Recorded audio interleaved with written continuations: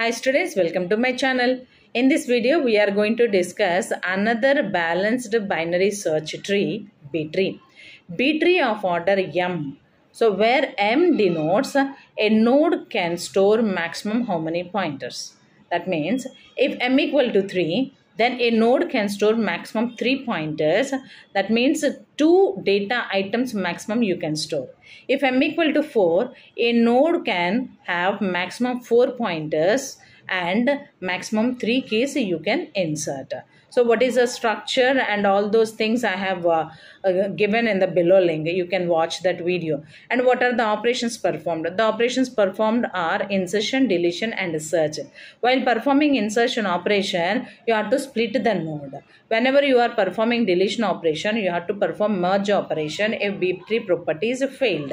So if you want a complete video, please click on below link. If you like the video, please share with your